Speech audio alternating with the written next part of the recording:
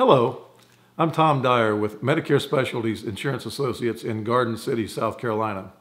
Today we're going to answer the question, does Medicare insurance cover hearing aids? Original Medicare does not cover hearing aids, and neither do Medicare supplements. However, some Medicare Advantage plans do have an allowance for hearing aids.